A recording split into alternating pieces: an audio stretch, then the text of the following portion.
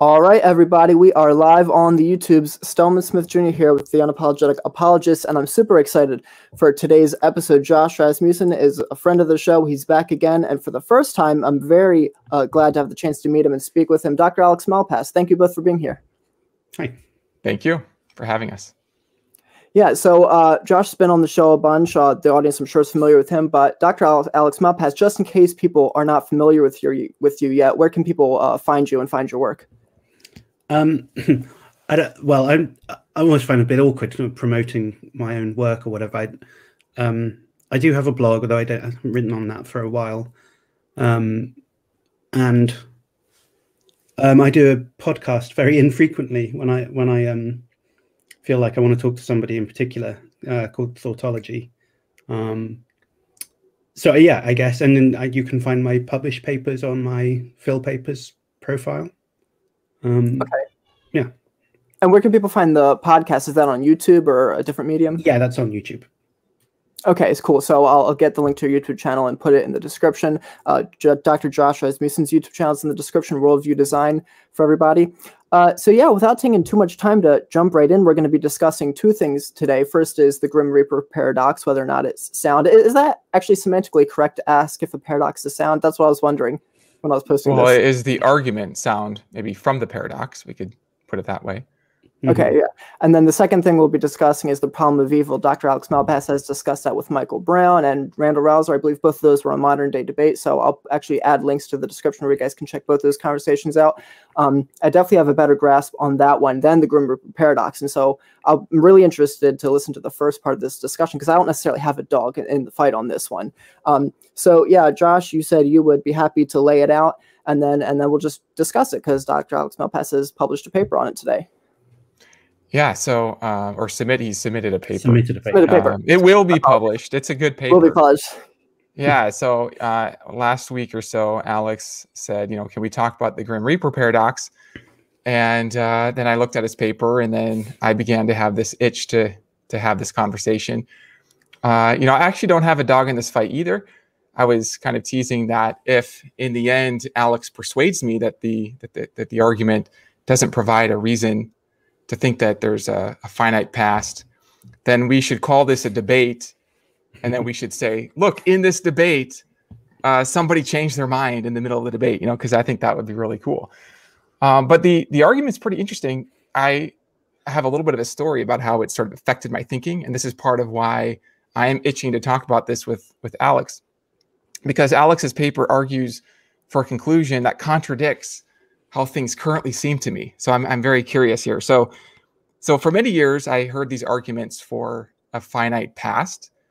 And these arguments you could think of as um, uh, parts of larger arguments for more interesting conclusions, like that maybe there was a, a cause of the beginning of the universe, right? There's the Kalam cosmological argument. But these arguments for a finite past, I never really found them particularly persuasive. Then one day in graduate school, I went on to this blog called the Prosblogion, which doesn't exist anymore. And Alexander Pruss had this interesting little Grim Reapers argument for a finite past. And I was skeptical at first. I read his argument, I was skeptical, but as I, I thought it through, it began to appeal to me. And it was it became the first argument that gave me a reason to think, okay, well, I think probably the past is is finite. Now, I don't really have a big dog in this fight. I mean, if the past is not finite, it doesn't really fundamentally change uh, many of my my views about sort of fundamental reality. Um, I've sort of left open the length of time in many of my own arguments, for example. But um, but because this is an argument that has given me a reason to think the past is finite, and because Alex has a nice little paper where he argues that this doesn't provide a good reason to think that the past is finite, this this does make me very curious to kind of talk this out.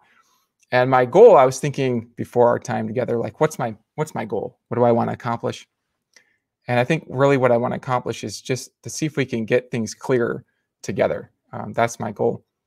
So here's the argument. Here's a way of setting it up. There's different versions of the argument, but um, you can sort of basically set up a weird puzzle uh, where the structure of the argument goes like this. Um, if it's possible for there to be an infinite causal series going out into the past, then it's possible to set up a paradoxical scenario involving Grim Reapers, which I'll describe in a moment. Um, but it's not possible to set up this paradoxical scenario. Therefore, it's not possible for there to be this infinite causal chain into the past. Okay, so what is the scenario? Well, here's one way you might set it up. So imagine that there's been an infinite past, and imagine that there have been events producing things. And so let's imagine that among the events are the productions of clocks. Okay, I've got a clock behind me here to illustrate this. And let's say that there are these clocks that are installed into these uh, things. We can call them Grim Reapers because they are things that have the power to destroy and kill somebody whom we'll call Fred. All right. Let's say Bob wants Fred dead. And so Bob has come up with this infinite sequence of events. Uh, well, Bob has always been operating with this plan from all of eternity to kill Fred. And alas, the time has come when everything has been set up. And Bob is going to kill Fred at midnight. And here's how the setup works one of the Grim Reapers is set to kill Fred at midnight if Fred is still alive and wasn't already killed. Okay. So his clock is set at midnight.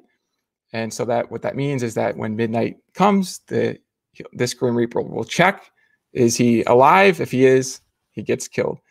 Then there's another Grim Reaper that was produced and set up to kill Fred at 11:30. His clock is set to 11:30, and um, so he checks: is he dead? If he's if he's already dead, well then there, there's nothing left to do. But if he's not, then he'll kill him right there at 11:30. There's another Grim Reaper set at uh, 11:15, another one at 11:07 and 30 seconds, and you keep setting it up so that each one is set up at half the interval of time uh, distant from the one before. So you can set up an infinite number of Grim Reapers, all set to kill Fred within the time interval between uh, 11 p.m. and midnight.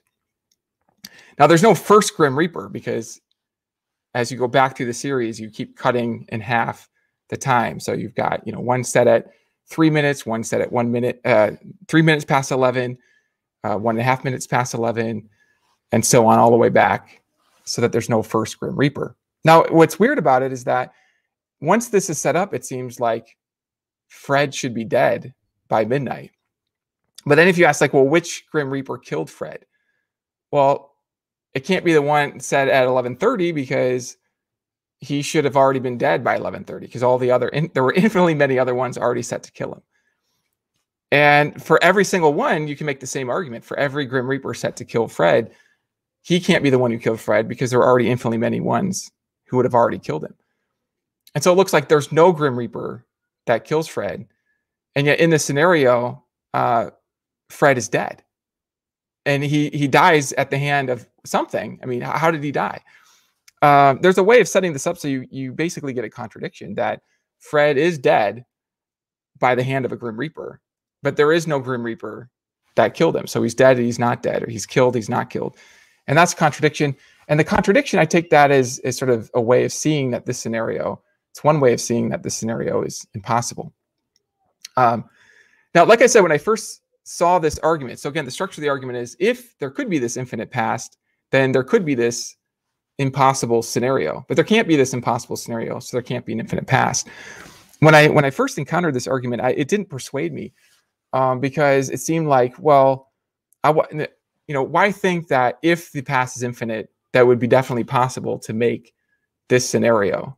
Uh, maybe the past could be infinite, but it wouldn't thereby be possible to make this scenario. But I think what what sort of got my mind, and Alex, it'll be interesting to see what you think about this.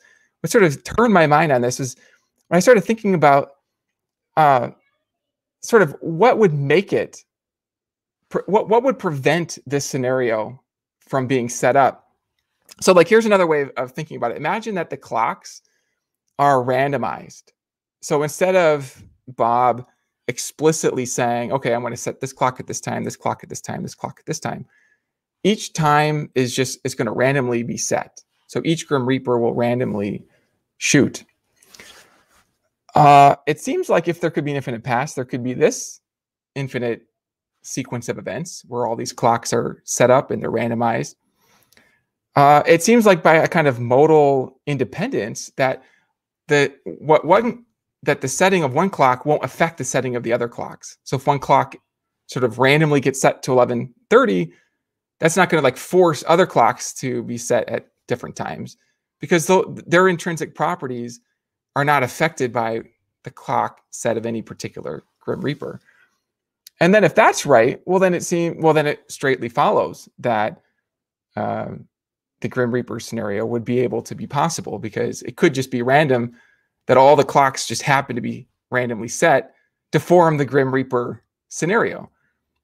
And what's to stop that? Uh, it seems like it, it we know it can't happen because of the it would be a contradiction. But it just sort of seems intuitive to me that it would be possible were an infinite past possible. And so I get that that would be the argument. That would be a way of setting up the argument. So you're welcome to clarify that or um, add to that or correct that whatever way. I mean, you're really close in the weeds on this argument, having worked on that paper.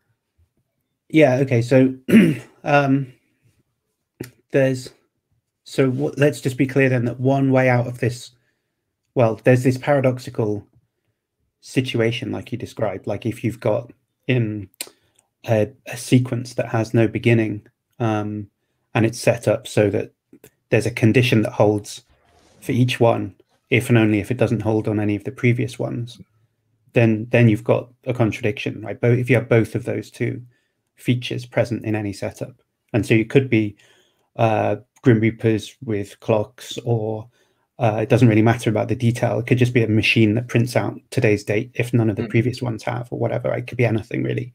So long as yeah. those two conditions hold, it seems to me that's all that really matters.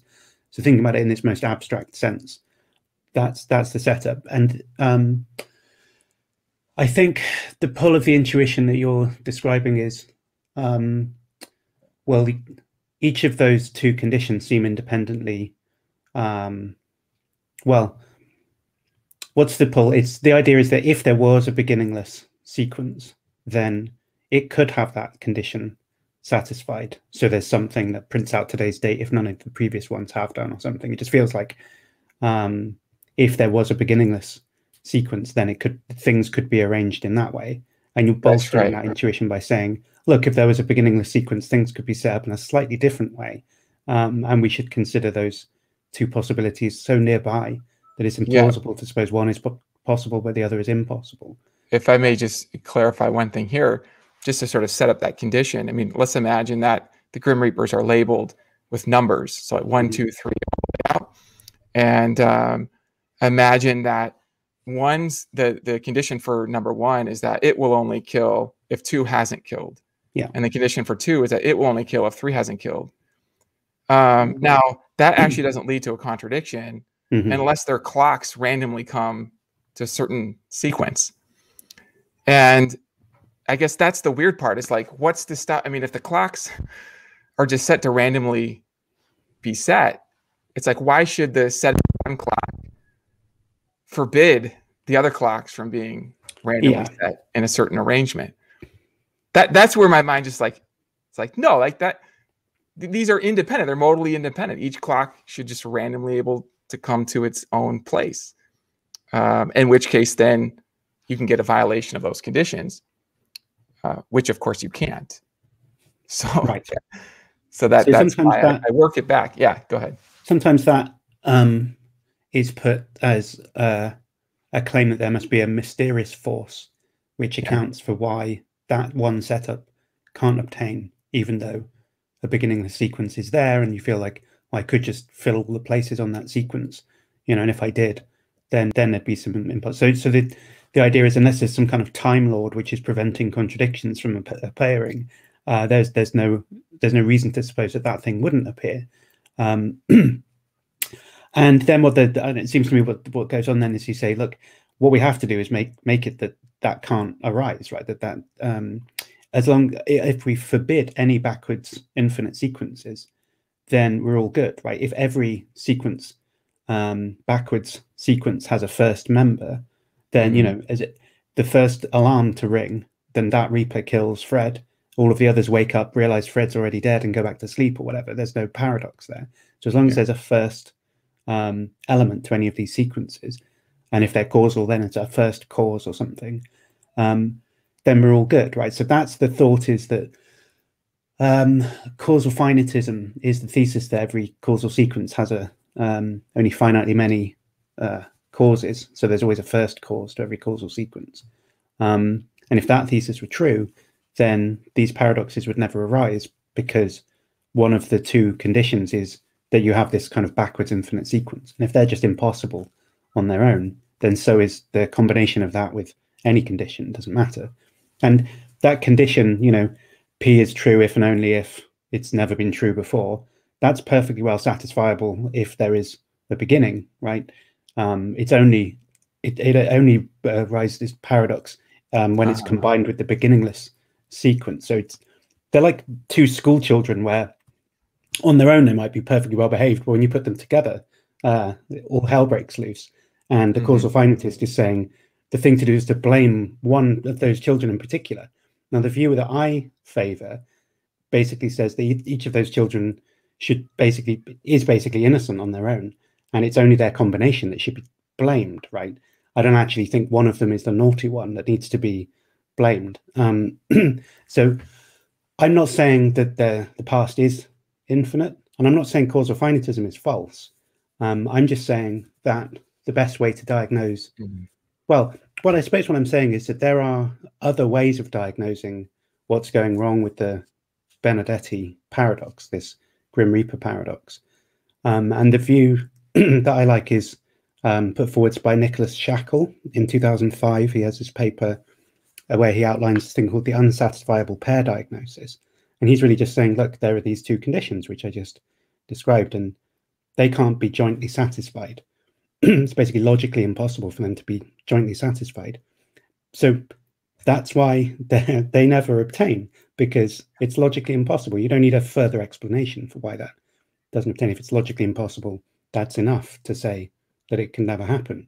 Um, and he thinks that what's going on is that most of the time when people are describing the setup, they don't just say condition A obtains and condition B obtains.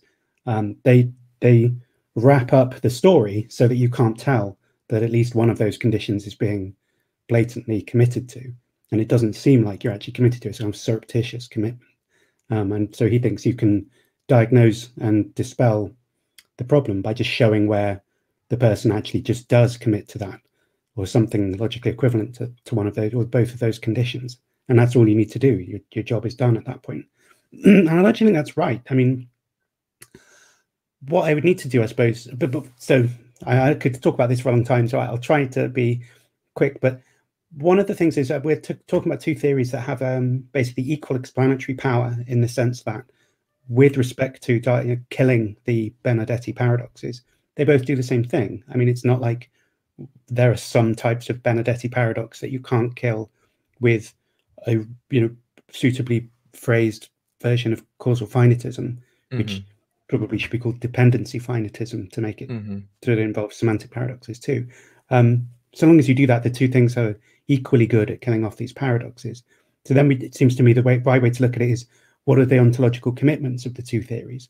And then when you look at it like that, the ontological commitments to this unsatisfiable pair diagnosis is really not very much at all. Right? It's just a diagnosis of you know two things are formally um, inconsistent with one another. So we're talking about you know the commitments of classical logic is about all you need.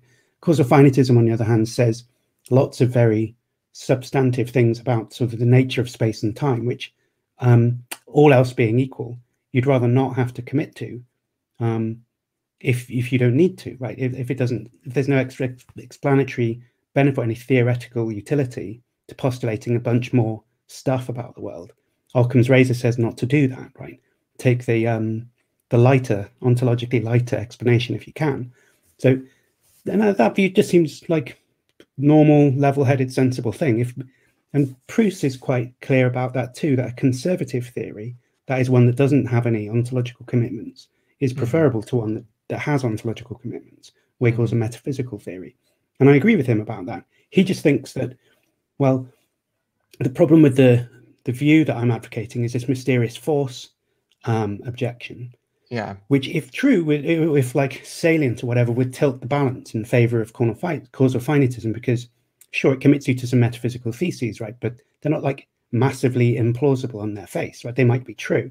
Whereas if my view required a Time Lord to be preventing certain arrangements of clocks from ever occurring, that's really weird, super like unlikely. And if that was a consequence of this view, I would give up the view because it would be much more ontologically weighty than causal finitism, right? But I don't think that that um, is the right way to look at it. So here's an analogy which um, to push to hit the ball back over the net, right? To see what you think about this. So um, you might think so. There's this German town, Prussian town, Königsberg, which has a river running through it, and there are seven bridges over that river.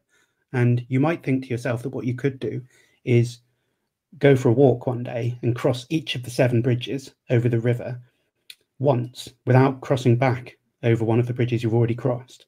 You might just think you could do that, of course, and have, maybe you have an intuition that you could do that or whatever. But um, you know, you'll find that no matter what you do, you're not going to succeed in that um, endeavor. And um, the mathematician Euler sort of proved by founding graph theory as kind of mm-hmm. foundational mm-hmm. proof that such a such a, a, circuit around something with that topology is just inconsistent. It's, you couldn't do it, right? It's like a mathematical proof of the impossibility of doing that. Um, so it would be weird if someone said, you know, I can cross bridge, you know, towns with six bridges crossing the river and towns with eight bridges crossing the river. How come I can't cross it if it's got seven bridges? Ah, ah a mysterious force must be at work, right? That's uh-huh. super implausible. Um, but Euler's proof doesn't come with a an implausible assumption of someone keeping people off bridges or whatever. That's just not how it works at all. It, on an individual instance, what would happen if somebody did try and cross the bridges? Is I don't know what would happen. They might fall off a bridge or get bored, slip on a banana skin, take your pick out of consistent, non-successful scenarios. But they're not going to do it. They're not going to succeed. Um, and it's not my job to say what would happen, right? And that's what it seems to me. It's a bit like when you say, well, you know, they could set their clocks this way, and you know, what's to stop them setting their clock such that the impossible situation obtains? I mean, I don't think anything's stopping them doing. I just think that they're not going to do it. Why are they not going to do it? Because it's logically impossible to do that. Now, it's just like crossing all the seven bridges without doubling back on yourself. Do you think I need to tell you why you can't do that other than showing you that it's like committing to more than it's committing to an inconsistent set of propositions to suppose that you could? Right? Do you, or I mean, do, do you see what I'm trying to say here with the? Yeah, yeah, no, I do, and, and and you draw this out in the paper in a very nice way. I mean, I think your paper advances the dialectic because what you're doing is you're considering, okay, what's the best way to sort of kill off the paradox? So one way is causal finitism. Another way is the way that you're proposing, where you're finding a certain kind of contradiction and you're saying, well, it's this kind of contradiction, well, any kind of contradiction. But in these paradoxes, the contradiction takes this form. We mm-hmm. can detect the same form across many paradoxes. So it would be maybe cleaner to just kill off the paradox by forbidding any scenario that results in this form. Now, it's interesting because I was thinking about, again, the structure of this, and I, I was curious to ask. So I've, I've got two, two questions for you. Um, the first question is sort of how this reasoning applies in arguments against time travel, there, mm-hmm. because there's a similar structure of an argument. Um, if I could go back in time, then I could grab a gun, go find my dad, my mom, yeah, and you know, heaven forbid, you know, I could I could kill them. There's not this sort of like logic fairy that says, wait, wait, don't do that because if you do that, then it'll be true that you were never born.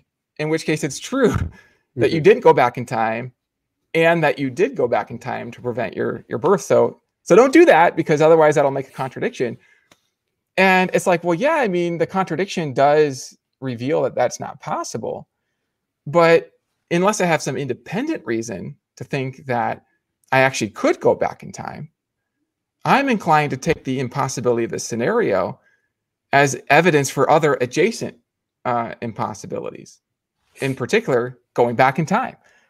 Uh, so Mhm. same thing with the bridge case. It's like in the bridge case, if I have a proof that I couldn't cross those bridges in that way, and I have no independent reason to think that I could. I mean, even if I had this kind of modal intuition, like, oh, I can cross six bridges, I can cross seven, I can cross eight. Well, as soon as I see the proof that that leads to a contradiction, then that's enough for me to say, oh, okay, I can't do that.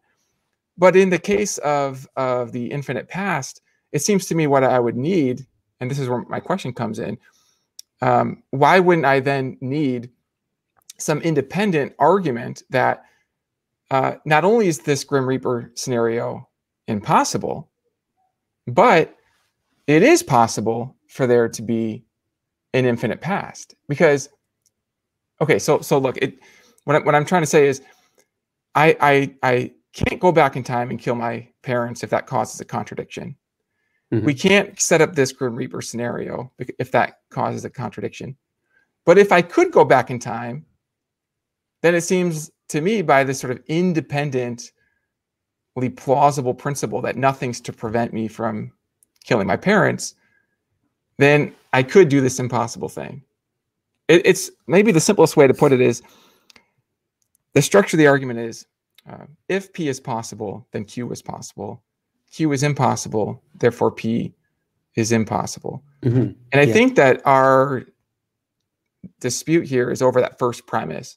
Why I think that if P is possible, whether possible whether P is going back in time or P is um, an infinite past. Okay, if P is an infinite past, then the Q in question is setting up the Grim Reaper paradox. If the P is going back in time, then the Q in question is killing my parents. Yeah. So- So we already established that Q is impossible. We agree that's impossible. In the bridge case, I don't see that I'm having the same structure of reasoning. It doesn't seem like in the bridge case, I have some candidate. If P is possible, then I could cross the bridges. Um, therefore, I can cross cross the bridges, but I but I can't cross those bridges. Therefore, P is not. It, it doesn't seem like I'm I'm not seeing that same structure. And so I'm Well- wondering. Yeah, go ahead. Yeah, what I do you think about this?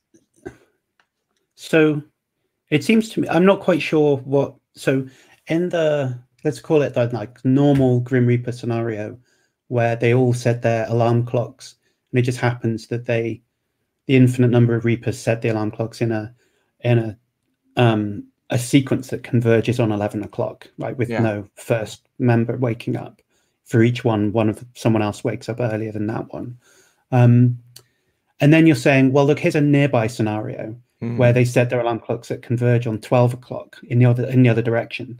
So there is an earliest one. He wakes up at half 11, and then the next one wakes up at quarter to 12. The next one wakes up at seven and a half minutes to 12.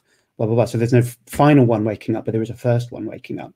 Right. The Mhm. fir- in the second scenario, kind of reversed Grim Reaper scenario, there's no like paradox because the guy who wakes up at half 11 kills Fred straight away. All the others wake up, see Fred's dead, and go back to sleep again.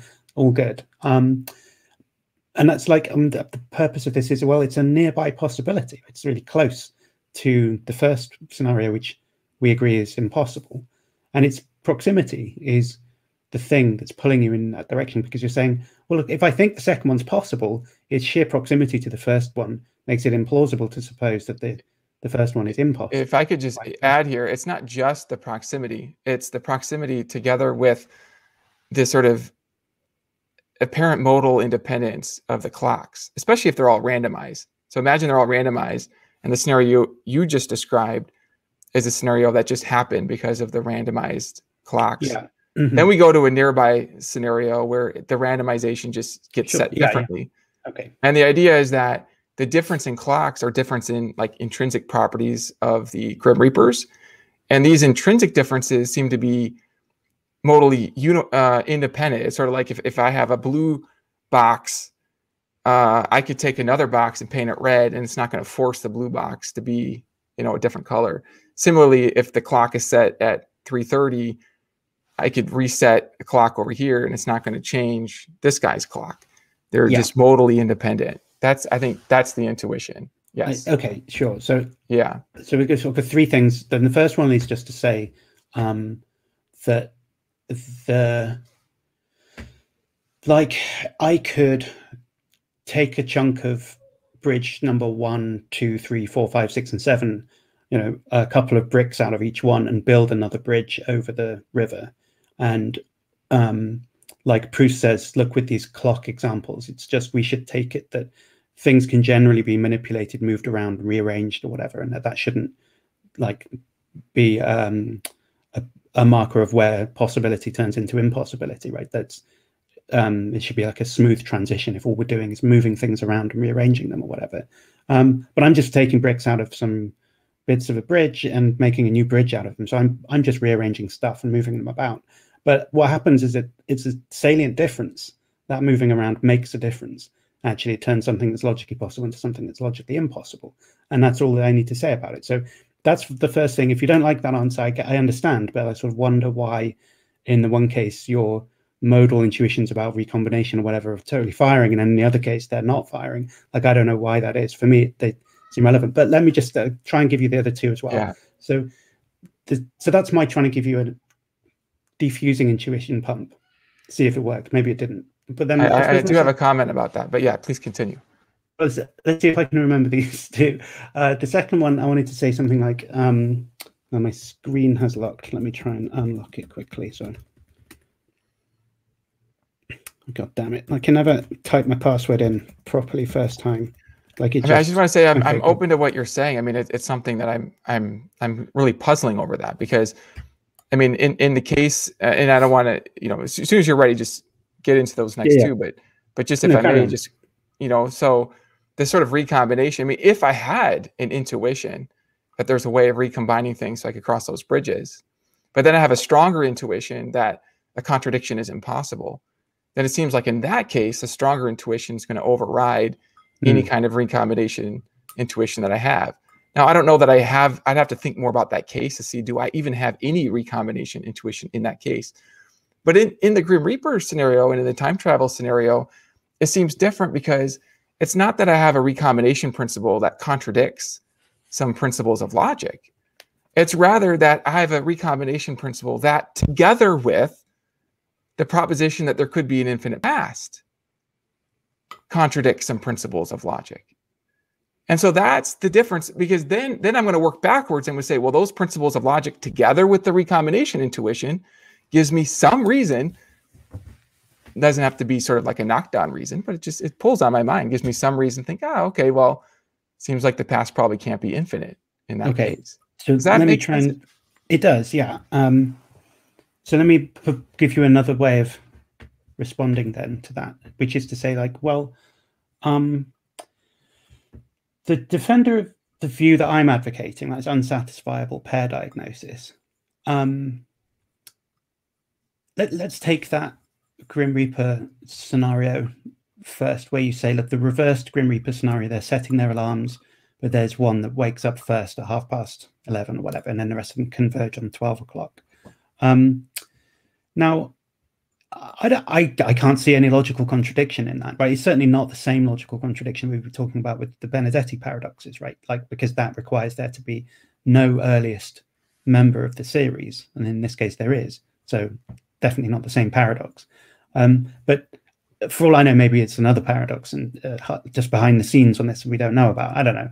Um, there's no reason to think that there is, but I'm not committed to the view that that's even logically possible. For all I know, it's not. I'm I'm just it's not the same logical impossibilities with the Benardete case, right? That's yeah. all I'm seeing clearly. Now, but really, we're not talking about. I mean, when I say it's logically impossible, that traditionally would mean that it's metaphysically impossible, right? But it just being not logically impossible uh-huh. doesn't mean that it's metaphysically possible. That's right. It might, for yeah. all I know, for all I care, be metaphysically impossible anyway, even though it's not logically impossible. Yeah. So I'm not actually committed to it being metaphysically possible, the reversed scenario. Yeah, and that's a if fair point. it seems yeah. to me that if um, its proximity to um, the case that's problematic is itself uh, something to worry about, then there's two things you could do. The first one is to say, well, um, there couldn't be a beginning the series of events. But the second one is to say, I'm going to check out this re- um, reversed scenario too. Like maybe maybe you've just given me a good reason to think that that reversed scenario is also impossible. It's just yeah. it's not going to be that it's logically impossible. It must be some other reason. So it still seems that there's two ways you can go on that, and I'm not seeing why I should, you know, go either of those two directions. Um, well, so that no, that that that seems right. That seems like a one step along a path. But then I'm thinking, okay, so where do you stop this um, possibility or impossibility? So okay, just to get explicit, go back to the clocks, right? So let's say we come mm-hmm. up with a benign scenario that doesn't have this sort of implicit contradiction, but we leave open whether it's possible or impossible. Maybe you mm-hmm. have this recombination intuition that tells you that okay. look, if yeah, yeah. if the if the Re- Grim Reaper scenario is is impossible, then this scenario would be impossible. And then you you just use that same kind of recombination principle to deduce that all of those scenarios, all the clock settings are going to be impossible precisely because they're generatable by an infinite causal chain. So it's the infinite causal chain that's generating the first kind of impossibility that then through recombination can lead to a scenario that we can verify independently through the law of non-contradiction is impossible. Well, um, the so uh, uh, another couple of points on this. And I mean, again, it seems like you could say so. The principle of recombination is just generally the thought that like if one thing is uh, possible and some so like the way Lewis puts it is like if you could have something um, like an object existing um, with all its intrinsic properties. So forget like you know its extrinsic properties, like whether it's to the left or the right of or whatever some other objects, but it's just intrinsic properties, and like a dragon or something, just like there in some space time, and you know a unicorn, say, with all its intrinsic properties in some other bit of space time. As long as those two bits of space time don't overlap with each other, um, if each of those is individually possible, there should be a third possibility, which is that those two bits of space time are kind of like copy and pasted next to each other. So there's like yeah. a third world that has both of those in. So this is kind of like expressing the plentitude of possible worlds or something. Mm-hmm. That there shouldn't be a gap. If you've got two things like, intrinsically possible like that, you should have a third, which is both of them together. Um, so that's the recombination principle. And the intuition there is that, like, you know, in lots of those cases, uh, yeah, you do want to say that the third thing is the genuine possibility if the first two are. And what you're doing, it seems to me, is that principle on steroids because you're saying, you know, if there's infinitely many of these things, um, then, or you know, if there's infinitely many things individually possible, we can rearrange them into a sequence where all of them, all those infinitely many things there, uh, is, a, is a third thing essentially, an infinite plus one earth thing, which is all we should also consider to be possible. Now, uh, first, you know, let's just take a step back and kind of think whether we have reliable intuitions about that type of recombination. Because for me, I'm a bit more skeptical about my abilities to reason that far away from, you know, normal everyday circumstances. And if I'm weighing up whether or not I've managed to deduce some very ambitious metaphysical theses about the nature of space and time with an application of that principle to such a rarefied and obscure area as that. Or I might have made a mistake, and my mm. cognitive faculties are very liable to make mistakes, especially with that type of thing. It seems yeah. to me epistemic humility should recommend, you know, siding with my me, me probably having made a mistake there. That, that principle, you know, while I want to say, you know, sure, if there's an apple and a banana, whatever, a third possibility is both an apple and a banana. It doesn't mean that I'm so confident when it comes to the infinite case, right? So that principle of recombination, it seems to me. I mean, not Lewis expressed that principle, expressed it in a paper in 1983, but he expressed it again in 1986 in his famous book, The Plurality of Worlds, but immediately caveated it by saying, well, of course, we need to rule out, you know, and I came up with some idea about you can't copy and paste things more times than there are space-time points, right? So if there's uh-huh. a continuum many space-time points, you can't have continuum yeah. many dragons copy and pasted into the same thing.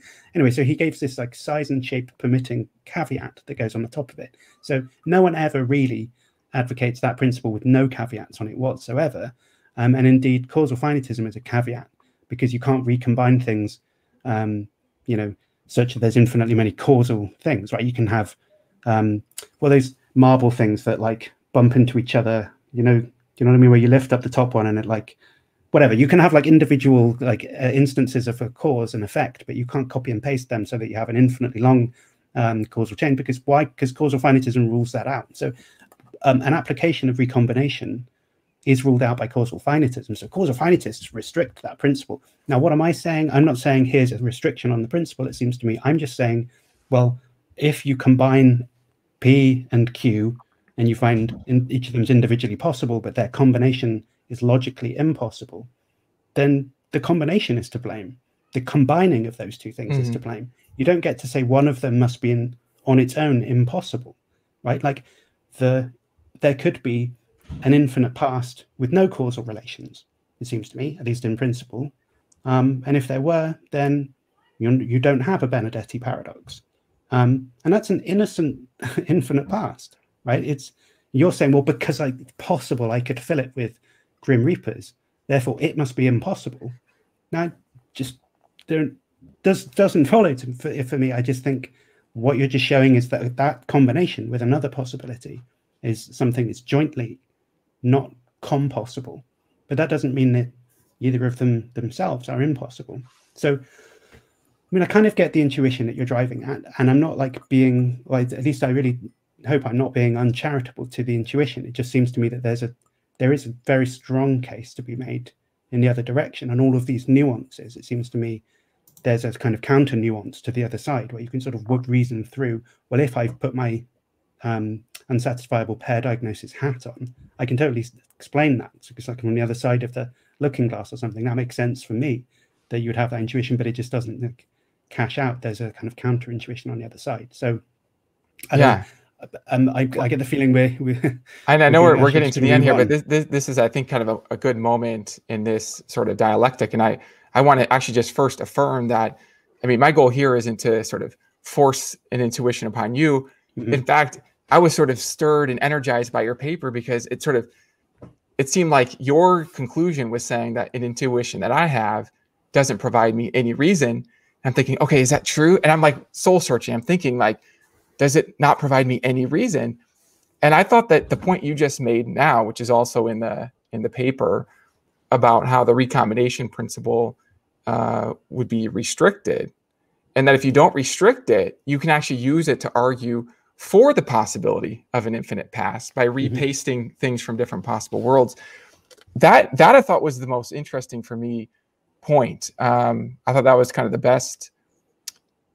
Well, I, that that was the one that I brought my wife over. It's like Rachel, I want to like talk with you about this, and we were like talking and thinking things through. And last night I was thinking, okay, is there a recombination principle at work in the Re- Grim Reaper paradox mm-hmm. that can generate the paradox that doesn't also generalize to generate the possibility of an infinite past. And it seems to me, and this is why I think your paper does advance the dialectic, because you're talking about Lewis's recombination principle, which talks about taking individually possible things and then pasting them together in a new possible world. And I was thinking, okay, this is precisely the difference between the recombination principle that seems to be at work in my own intuition and this more general Lewisian principle. So let me just draw this out a little bit more. Go back to the clocks. Imagine a possible world where there's an infinite past that generates all of these clocks and they're randomly set, okay? And there's no contradiction in this scenario. So this is a place where they're all jointly possible. It's not that they're individually possible. There's a single possible world where all these mm-hmm. clocks exist. And then by this principle of modal independence, the idea is that you can fix any of the clocks, they can be changed, and you can go to an adjacent possible world where some of the other clocks are changed without affecting the ones that are fixed. Okay. This is going from one possible world where they're jointly possible to another adjacent possible world. And it seems to me that that's kind of like um, a move in slight differences. And you can repeat this slight difference move to generate all these possibilities. Mm-hmm. But to go from all these individually impossible world, uh, all these individually possible uh, worlds, to get an infinite world, it seems like that's going to be not just a slight difference, but an infinite, an infinite leap. Um, and that's the kind of recombination that the Grim Reaper paradox sort of gives me reason to think isn't possible. That's well, not possible to uh, to recombine these things. So you're talking way. about. It seems to me what you're saying is a sort of finitary recombination principle should be licensed, but an infinitary recombination principle shouldn't be. It's not actually that. It's about going from a possible world to an adjacent possible world versus the principle that does damage to this Grim Reaper argument would be one that goes from an infinite array of individually possible worlds mm-hmm. and takes items from all of those to produce another possible world. And that seems like it's just categorically different. Okay. I don't have I any see. intuition that you can do you can take those infinite things and recombine them into one thing. Mm-hmm. It doesn't right, damage right, right. my intuition that the clocks in one world could be rearranged to an adjacent world.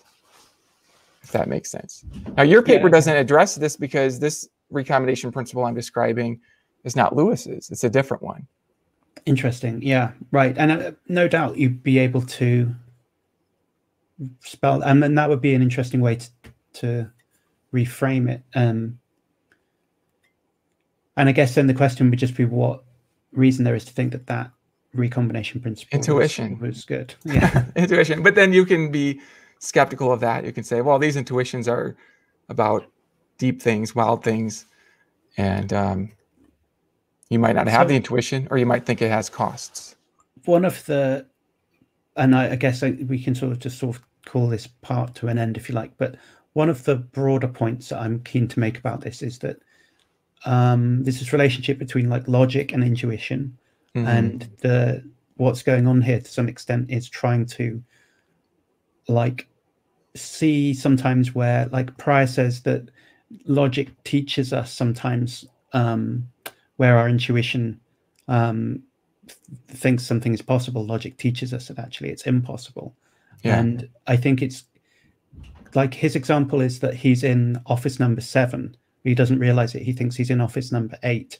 Um, and he thinks anyone, he thinks that, that it's always filled with idiots in office number seven. And um, he thinks to himself, um, no one in office number seven ever thinks anything true and that you know generates this kind of paradox, right? So, so for a French yeah. kind of liar paradox thing as a yeah. result of that. Um, but he takes this weird conclusion about that, which is that, I mean, it's I don't actually agree with him about it, but I thought his analysis was interesting. He he ends up thinking that that person actually doesn't think anything. Like that's the what, what we should say there, because um, there's just to avoid the paradox, you just have to like conclude that he doesn't think anything, which I think is wrong. But I, the way he described that was you know you have this very strong intuition yeah. what's going on there. It does seem like he's thinking something. It's just that you can't ever cash out what it is that he's thinking because it's contradictory.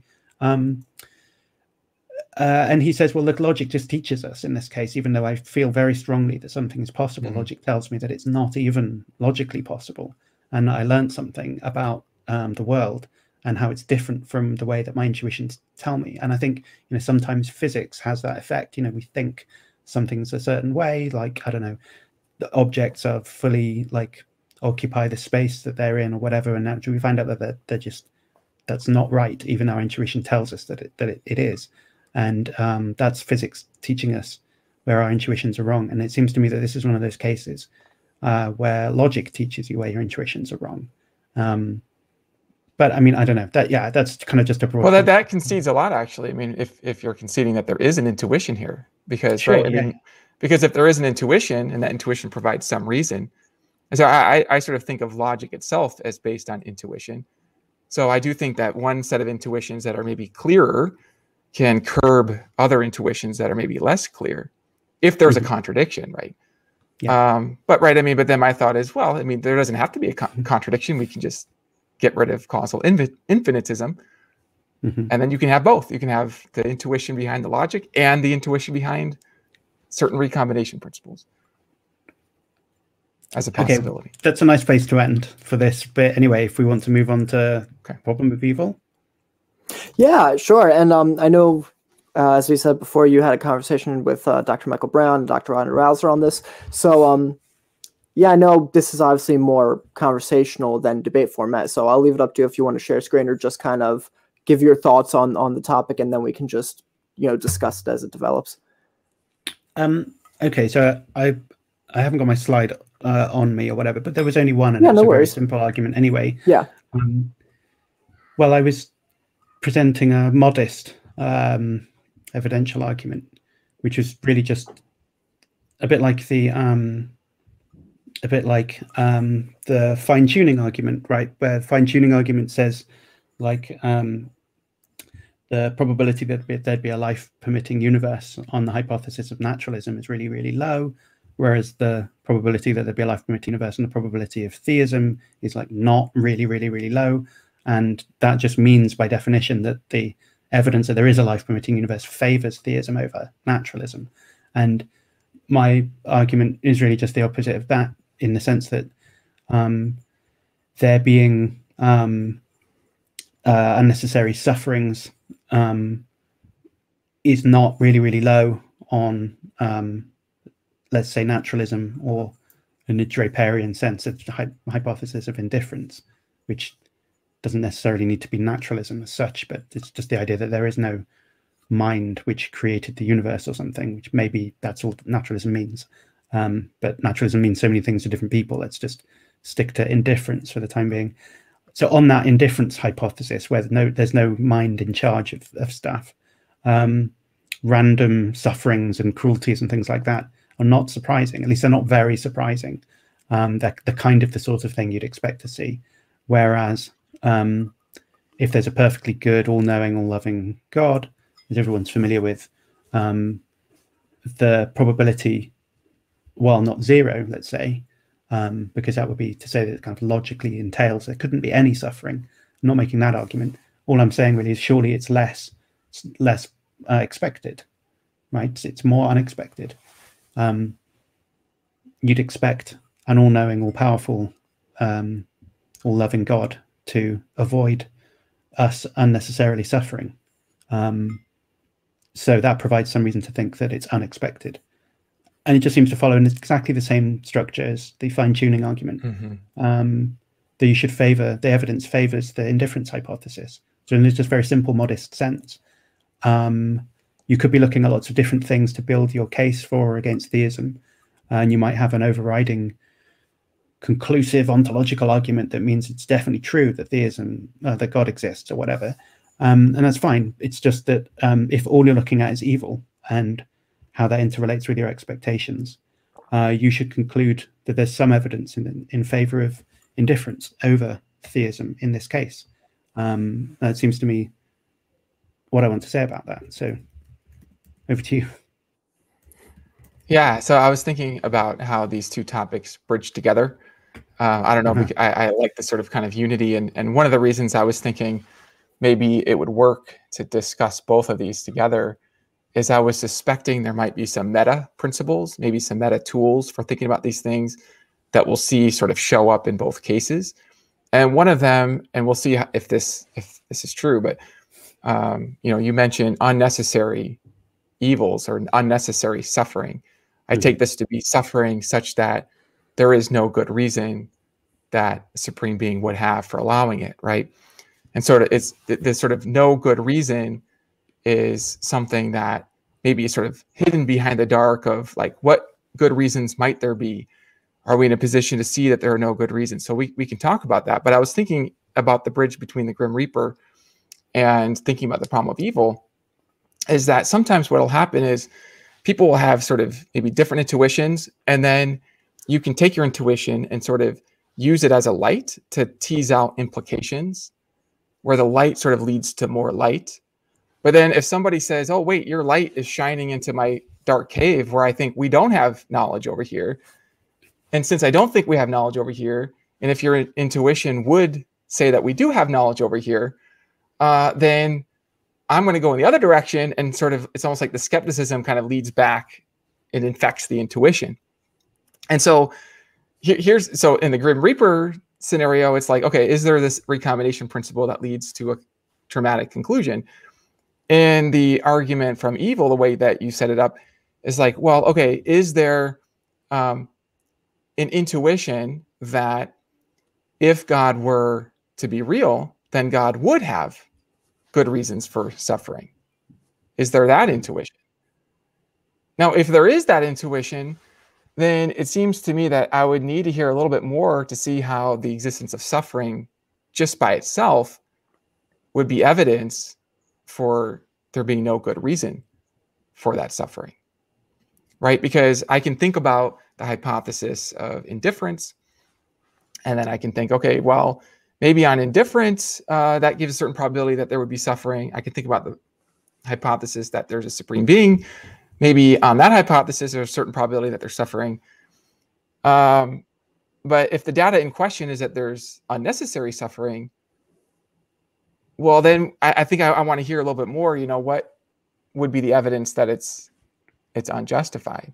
Well, okay, yeah. so I think, um, I mean, on a really basic level, there's the intuition that if there were an all-powerful agent uh, who is all loving and all knowing, um, is would lower your expectation that there'd be certain types of suffering is quite mm. straightforward. I mean, it's just a case of like, if you, are, I mean, if you were to see a case of unnecessary suffering, that's you know, a child on fire or something, and you know, there's a fire extinguisher right right next to them, and you just don't do anything, so you're able and knowing, yeah. then not doing it basically just means that that's an immoral thing, right? So if it's just very hard to see how allowing certain types of suffering is compatible with all three of those properties, right? I mean, it's very, very well rehearsed type of um, argument, right, throughout the history of philosophy in general.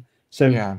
that type of thing it gives you the, the reason to expect that type of theistic hypothesis to not have suffering. Now, you might say, well, you know, people say things like, look, um, you know, I, I let my kid get um, inoculated against a disease or whatever, even though the needle going into their arm uh, hurts them and they don't like it, because it's better that, that they do that than get a disease.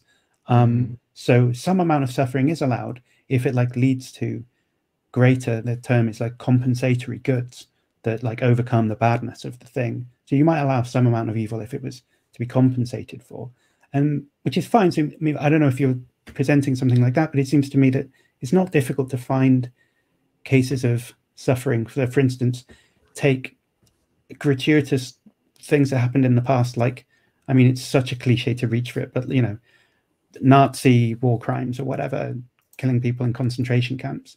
Now, just very difficult, it seems to me. I mean, though logically possible, quite concede that it's logically possible, but it's difficult to imagine how um, there's some good that is obtained by exactly that many people going through exactly that much suffering.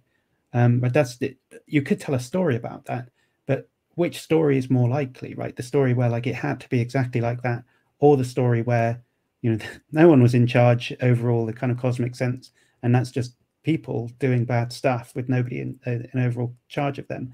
Right? And the thesis of hypo- uh, the indifference hypothesis seems to give a much more plausible explanation of that. You can cook up a story, no doubt, but is that story itself going to be? Um, it seems to me the overall complexity of of your hypothesis is going to go up um, once you start saying, well, look, maybe God had this like special, super specific plan, and you know the only and maybe also only way of doing that involves you know like perfectly innocent like children being horrifically killed. Um, I'm, I'm that massively uh, increases the improbability of your hypothesis there. And I'm just somehow I think what might happen is um, piling on these specific claims to bring out a story that actually makes sense um, piles on so much improbability that it doesn't actually help you, even though it's explaining the thing. What you're left with is something that's um, just as unlikely as your original hypothesis. It didn't have any of those super specific auxiliary assumptions built into it. So yeah, I mean, I, yeah. What so? How does that sound to you as a as a way to come back?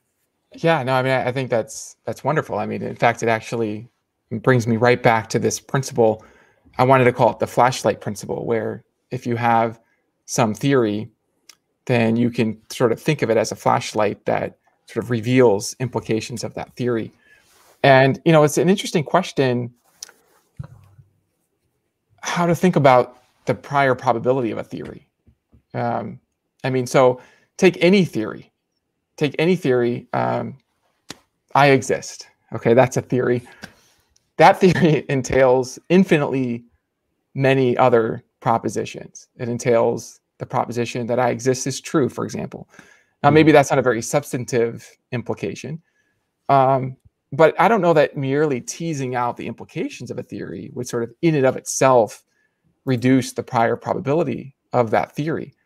I do think that if we add to the theory other hypotheses, that will lower the prior probability. Yeah. And so I think that, you know, I liked what you said about maybe there's some possible story that could account for certain evils. And maybe it includes reasons that we don't even know. Maybe it includes reasons that are based on experiences that we haven't had yet. And then now the question is, well, is that story baked in to the theistic hypothesis? Uh, we add it to the hypo, uh, to the hypothesis. So you've got theism plus the story. Well, then it seems like that total theory would have a lower prior probability. I think that's absolutely right. But what if instead it's that theism, if it were true, would be like a flashlight that would re- would, if true, entail that there's some story that accounts for the evil, include including for reasons that we may not know. And if it's more like that second case, then I'm not sure that the prior probability is really harmed in that case. I mean, so here, here's another way of thinking about it. Maybe you can help me think about this in terms of the indifference hypothesis. I was thinking that suffering isn't predicted by the indifference hypothesis. So, a version of the indifference hypothesis would be fundamental reality is mindless. It maybe is composed of particles or fields, has no sort of reason embedded within it to evolve to produce any conscious beings capable of suffering, capable of wondering about the problem of evil, capable of having a conversation like this. So that indifference by itself doesn't really give any positive probability that they're suffering. But now we can maybe add to the indifference hypothesis some auxiliary hypotheses, like maybe we add to it um, that there are beings like us who are capable of being conscious. Well, now, so the question is does that additional hypothesis follow from the indifference hypothesis in the way that you might argue that the story uh, hypothesis that there's some story involving good reasons for evil follows from theism, a supreme being theism? Or is the auxiliary hypothesis, in the case of the indifference, that there are conscious beings, is that in addition to the indifference hypothesis? And I could be wrong about this, but like right here, just sitting, just thinking about it, it seems to me that the auxiliary hypothesis on the indifference case is an addition that lowers the total prior probability of that theory. Whereas the auxiliary hypothesis on the theism case, where you add something that seems to follow from theism, doesn't seem to be an addition that lowers the prior probability, but rather just what just precisely what you would expect. In fact, you might even think the problem of evil is a device for teasing out the implications of theism. Uh, it helps us to hmm. see, oh, okay, well, this this would be a world in which everything works out for a greater good if God exists. Like I don't believe that God exists, but if God did exist, then there's hope in all things. All suffering is temporary and is used for greater goods, even if I don't see what they are. Like unless I have some independent reason to think that that isn't true, then I don't really I'm I'm not really seeing how that would be lowering the prior probability of theism. It seems to me. So those okay, are some so, of my thoughts. Yeah. So I th- I do think it's an interesting like uh, response to wonder what's really predicted by the bare hypothesis of indifference. Mm-hmm. And I'm sympathetic to the idea that really not very much is predicted by it because it's so bare that it doesn't really say anything. Um, so, you know, for instance, if suffering requires consciousness, which seems plausible, is consciousness actually predicted on indifference? Mm-hmm. And if mm-hmm. it's so unlikely on indifference, um, it might be more unlikely that there's consciousness at all than that God would allow suffering on theism, in which case, you know, it, it would turn the tables completely. So I understand that.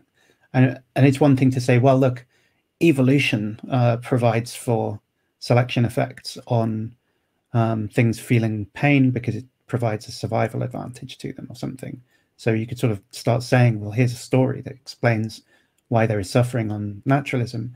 Um, and Yeah, yeah, I understand the idea that you're you could say, well, look, is that the bare hypothesis of naturalism, or is that an auxiliary um, hypothesis that's been added in? And if so, um, doesn't that count against its kind of intrinsic prior probability beforehand? Mm. Um, in the same way that I was criticizing those sort of theodicies to suffering, and it might make the overall probability low as a result of doing that. Um, I suppose one thought is that at least on the naturalism hypothesis, it does seem to me that those you don't really need to appeal to very much beyond very well confirmed scientific um, theories. Like evolution isn't the same as saying maybe God has a plan for that little girl in the gas chamber. I mean, that, that's not a well supported scientific hypothesis by any means. It's a speculation. Whereas maybe, um, you know, living creatures tend to feel pain as a survival advantage to seem to me very well supported empirically. So there's sort of some difference between them, but I'm not quite sure how, um, if we were to talk just about that point for 45 minutes, I'm not sure where it would go. It doesn't seem to, I'm not sure about that. It just seems to me there's, an, there's a starting point. Um, but just to push back a little bit, if you just take one of those cases where, I mean, so what exactly is it that you're saying? I think if you think that everything plays out in the end, um, I mean, one way of looking at that is that there really isn't any suffering because um, any evil is kind of more compensated by uh, the good that comes along with it, that it kind of dwarfs it. And there's, you know, it's like talking about pinpricks instead of diseases or something. And that doesn't seem to really, I mean, unless what you're talking about is the compensatory good is this kind of like infinite something. I mean, even then, I'm, I'm struggling to see how it morally justifies it, right? Like if I was to torture a little child to death, um, I think it would still be immoral, even if, um, well, I mean, if if there's really some like I agree with that. good, uh, there's some massively good gain that comes out of it that couldn't be gained unless I tortured that little child. It would still death. be immoral. I mean, still be not the way things should be. Right, right. And to say that to, to sort of bite the bullet there and say, well, if it was good enough, maybe that would make it. That that's a kind of um, indecent ledger, right, where you're tallying up pains and pleasures and seeing whether it, it, there's a certain amount of pleasure that or whatever benefit that that outweighs that. There's a certain point where like it's just wrong to, to even countenance those types of um, evaluations, right? There's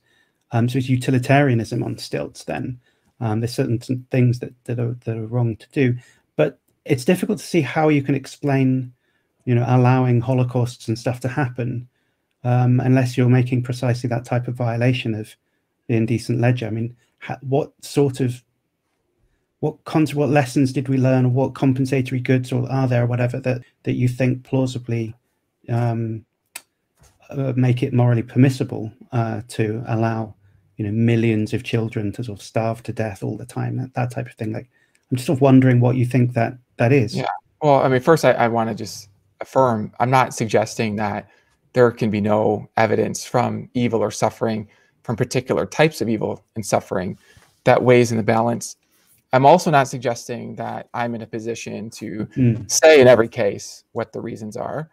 Um, I mean, there are various theodicies that in a longer conversation we could maybe explore some of those, but um, but I'm not really sort of confident in my ability to weigh the probabilities of any particular story or any particular account. Um, I do think, you know, I, I think it is relevant to think about what our background knowledge is in this uh, discussion because you mentioned that we have sort of good scientific evidence for kind of evolutionary story of the existence of beings as we are okay sure. I mean we also have good even direct evidence that there are beings like us. So that's also part of our back we don't even need science to give us the knowledge that there are conscious beings. And so, yeah, for sure, when we're thinking about the problem of evil, we're going to want to consider okay, which things are part of the background knowledge. And then once you fix that background knowledge, now we can consider sort of evil, the evidence of evil um, as sort of additional evidence. But I think the thing that's difficult for me about this is that background knowledge is part of the probability calculation with respect to how probable uh, suffering is on theism versus non-theism. I do hmm. think that.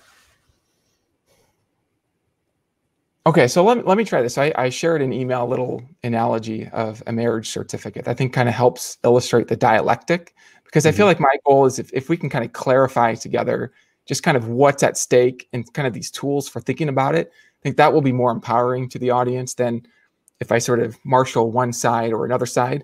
But so here's a little story that kind of illustrates, I think, something that's at stake, which is um, so my wife and I, we, we got married. And if you doubt that, I do have some evidence of that. One thing mm-hmm. that I could show you is our marriage certificate. Now, somebody could look at that marriage certificate and they could point out, they could, they could point to some places in that certificate where there are blank spaces, like between the words. And they might point out that, look, these blank spaces aren't predicted on the marriage hypothesis. But on a sort of indifference or non marriage hypothesis, that there's blank spaces here, that's exactly what we'd expect because we'd expect this whole certificate to be blank. And its whole blankness would imply its blankness here and there. That's true. That that is true. Those blank spaces represent uh, lack of knowing God's reasons for evil. So it does seem like it's true that if indifference is true, there's like a hundred percent probability that um, nobody will know God's reasons for evil. Okay, uh, right? Because there aren't any, right? Mm-hmm. Um, but I mean, it seems like if theism is true, then the probability that there are reasons for evil that I don't know is also actually very high. Just as if I am married to my wife, Rachel, the probability that there are blank spaces in the marriage certificate between the words is very high. And this is where I can even tell a story. I can say, look, it's probable that that letters aren't going to be all shoved together. It's actually probable that there's going to be some spaces between them. Mm-hmm. Similarly, it's probable that I'm not going to know all God's reasons at every moment of my life. In fact, as I get older and have had my own children, I've discovered all sorts of reasons for allowing them to play in certain ways where I know there's a certain risk. Now, of course, there's limits to that, um, but there are considerations that I hadn't even considered before that can allow for certain amounts of suffering for certain finite episodes, especially if I'm in a position to know how to turn all those things into a greater good. And yeah, my kids wouldn't know my position. That's what I would expect, right? Like I would expect if there's an infinite mind, there's going to be some blank spots in our mind. I would mm. expect that if my wife and I have a marriage certificate, there's going to be some blank, some blanks between the words. And so it's hard for me to to think of that as like very powerful evidence against theism, though I can see how it can be evidence against theism to weigh in the balance. It's just, yeah, I guess I'm not sure what else to say. It's just there's a lot of different principles here, and I think it's important to sort of clarify. Okay, well, what's your background knowledge? Is that background knowledge more likely on theism or on indifference? I mean, so there's a way in which well, we could just add to our background knowledge things that are maybe more likely on theism, consciousness or whatever an evolution that produces reflective beings you might think is is not unlikely on theism uh, we could compare that on the indifference hypothesis um, then you can maybe generate some evidence for indifference if you put those things into your background knowledge but it's almost like you're sliding the scales you're shifting some of the evidence that would be for theism sort of into our background knowledge and that's fair. It's fair. You can do that. But then I just want to get the bigger picture back into play because it's all relevant. Yeah. Okay. Yeah. So I don't think I'd have a picturesque analogy. Um, and I was, I don't think this really works, but you know, may, maybe just for the sake of it, I don't have a better one off the top of my head, but rather than it being a marriage certificate where it has I mean, because in your example, it has spaces where you'd expect there to be spaces on the hypothesis that it's a marriage certificate, right? Well, not not exactly. I mean, I, I have no idea where to expect the spaces to be. Well, I don't know what words they're going to use. I don't know where those spaces are going to be. I just think there would be some spaces somewhere. Some spaces, yeah, and it's yeah. got like that type of spaces. And right. I think to to try and and as I said, I'm not pleased with this analogy, but you know, something like um, the, it's not just that there are spaces on there, but like the names have been missed off, or like the certificate number or whatever the thing that like you'd expect to be there that's missing, and that that makes you start to doubt whether this um, was just a freak, you know, le- thing of machine printed off by accident and not actually a proper certificate, something like that, where like yeah, you were expecting to see it and it wasn't there, rather That's right. than just some spaces uh, where blah blah blah. I mean, I understand the analogy. I think it's quite a nice analogy, but um, No, and, that, and- that's a good point. That that carries over very nicely. I mean, there are cases of evil where you might think, you know what, if God really existed, He wouldn't allow that. yeah, And I right. think if and you have that intuition, I think that intuition does support that that weighs um, in your mind as evidence. I think. so you were saying, well, I mean, there might be uh, reasons God would have that I wouldn't know or something, and that that all sounds pretty, you know, reasonable as well, right? I mean, like, sure, he might have reasons that we wouldn't know, and it's it does seem like a maybe okay to expect that you wouldn't have all the answers or something. A mere finite being, no clever though you you undoubtedly are, surely there would be reasons that God might have um, which would escape your ability to think about them. Sure, absolutely, fair enough. But all I, I don't think I was requiring you to be able to say that, right? So it's not so much like you need for universal quantification. You need to have all of the answers, and any anything you can't explain means I win. It's more like um, there are just cases where I do take myself to have moral knowledge, and when I brought up one of them with you a moment ago, you sort of enthusiastically agreed, oh no, that would be wrong, right? It doesn't matter what the compensatory goods would be, right? Torturing a child to death. And so it's just not one of those cases where we take ourselves to be lacking in the relevant knowledge about that case. I mean, you could be complete moral skeptic or, you know, error theorist or whatever, but we're not taking ourselves along that. So it just seems like we have a shared understanding about that, that Yeah. we take ourselves to have moral knowledge, at least in those types of like obvious cases. And so how come then there are loads of cases that look just like that? right? I mean, it's it's and it's not going to be cashed out by saying, um, well, maybe there was some good that God couldn't get unless he tortured a child to death, because that wouldn't be morally right, even if that were the case. He just If God were the one that. torturing the child, or you would allow someone to torture somebody to death. So, it yeah. next to you and you allowed it, that's also morally wrong, right? So, um, it just seems to me like that's that is analogous to what's happening. So that, that leads you to- know, stronger sort of inconsistency than just spaces on the marriage certificate. That's, don't, yeah, that was my that was my Yeah, no, I really appreciate that. So um, first, I just want to affirm that I actually think the best version of the problem of evil is what um, some people have called a common sense version of the e- problem, where you just find yourself seeing that something should have been prevented, like that should not have happened, and if God were real, He would have prevented it. Mhm. And if you have that intuition, uh, you know, it, you might try to argue for that based on some kind of you know philosophical argument about how if God had a reason, I would probably know what it was in this case or whatever. But actually, the intuition may be stronger than any argument you would give for that. And I think that that can pump uh, a reasonable justification there. So that, that's the first. I just want to affirm that. But the second thing, I- I think, is really important to make a distinction between seeing somebody do something wrong, so somebody like killing somebody, versus um, the situation where somebody who's sort of outside the arena or who created the arena allows people in that arena to interact, maybe in pre-assigned ways. So it's it's interesting to me, Alex. I've watched a lot of near-death experience reports where people would have this experience of asking this being of love and light, kind of why why evil? Why is there suffering? You know, and and it's interesting to see the kinds of consistent answers that many different people from different cultures, different religions would get, which comes down to these purposes in love, where it's like there's this knowledge that if you come into the earth scene, there's going to be risk, there's going to be adventure, there's going to be opportunity to grow and to learn and discover. And each of those points of risk and opportunity are points for a unique and special type of love, where you love people in the face of uncertainty or in the face of risk, and that terrible things can go wrong. And it's known that there are great risks, right? But that the thought here is that there's a difference between the immorality of me killing a child and the immorality uh, of let's say, a being voluntarily coming into a state of limitation or into a adventure where there's risks for the sake of lessons in love, knowing that one of the risks are that you can be removed prematurely. Um, and that's not an answer. This isn't to say this is why there's evil and suffering.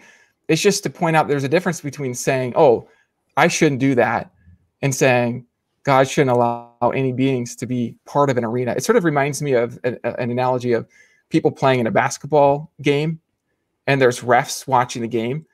It's like there's different roles for the players and the refs. Like imagine one of the refs is rooting for one of the teams to win. You know, well, you can't do that if you're a ref, but maybe you can't really help it. You know, you kind of root for one of the teams. And the ref has the power to step in and like block a certain shot, maybe, or trip the player. Uh, has the desire to do it and the power to do it. Um, but there's been an agreement by the players and the ref together don't do this for the sake of a greater kind of experience. Mm. And so people in near death experiences, they talk about this idea. Uh, there's one case in particular where she said she had this experience of seeing a contract that she had signed before she was born of an agreement to come into the earth for certain purposes. And I know somebody personally who had a near death experience, and she said that she had this experience of the being of light saying, You still have purposes on the earth. So the idea that maybe there's sort of this arena of purposes where beings like us can grow and connect and interact, and that the moral situation of us preventing evil is different from the moral situation of God coming in and breaking contracts that we might have made with him. Like, for example, this is uh, a contract theodicy, right? Uh, I mean, who knows, right? There's all sorts of possible stories that one can tell. And again, I just don't find myself really in a position to to see that they're improbable, um, let alone impossible. Although I mean, I'm very I... sympathetic with somebody who just has a raw intuition that oh, that just shouldn't happen. Mm-hmm. Yeah. Well, look on that contract theodicy. Um, yeah.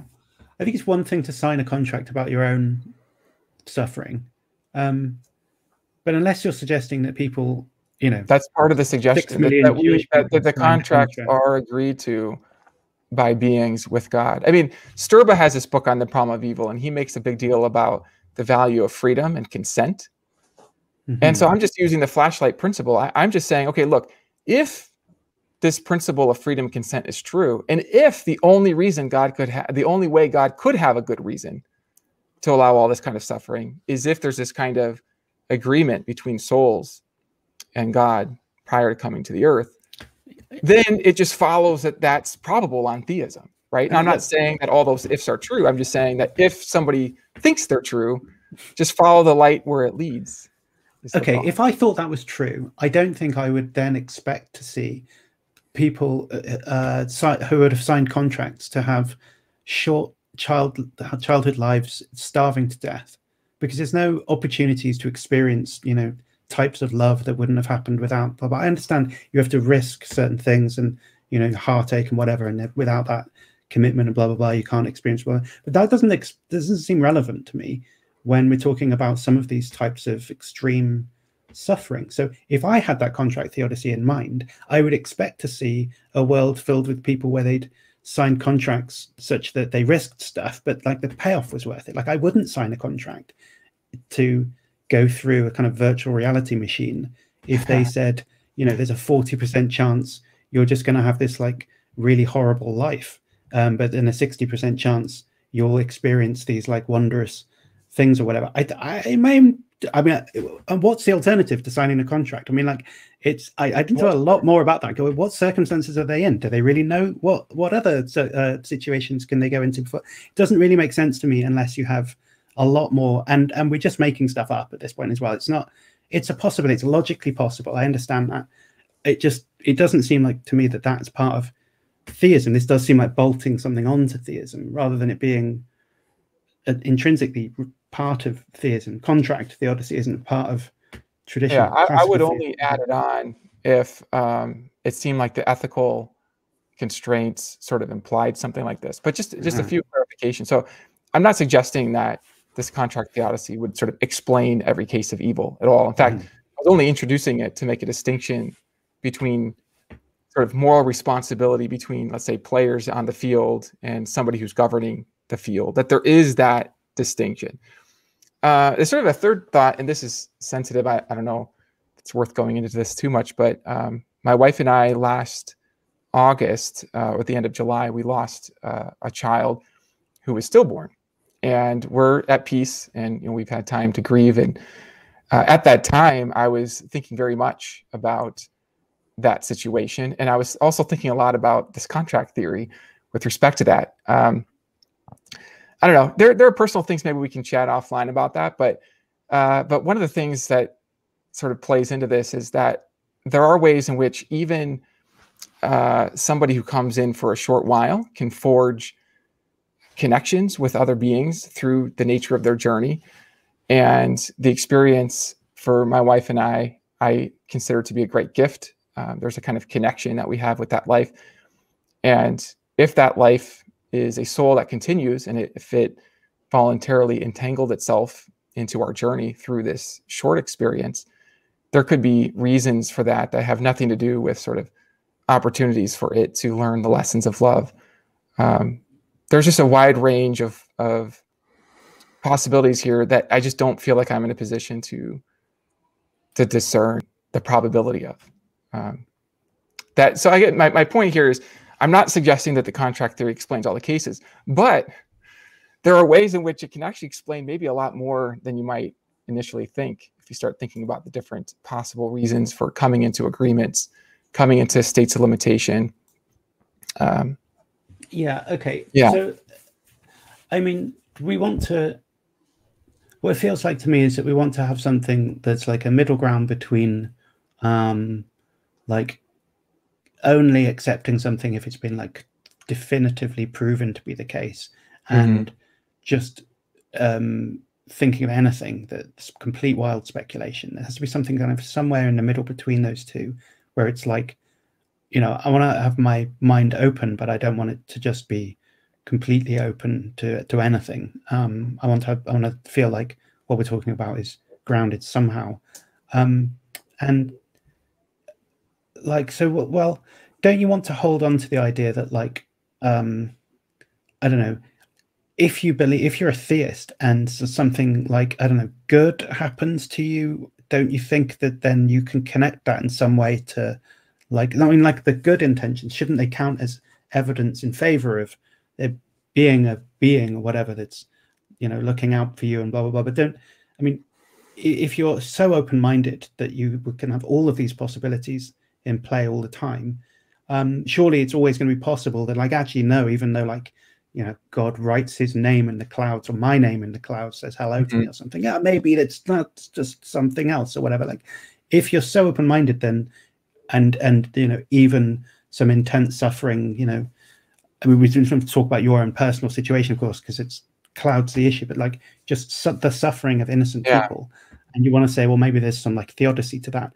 is that possible to keep uh, the two things in mind? I mean, this is genuinely just an open question that's coming to my yeah, head. But like, no, it's a good question. You know, I mean, Stephen Law is this kind of like Stephen Law's question? You can sort of reverse it quite like that. Yeah. Yeah. Yeah. I mean, my reasons for thinking that God would be good have to do with other considerations about the nature of goodness being prior to anything else uh, that you can't sort of derive. Uh, there's a kind of asymmetry between good and bad and that good is prior to other things.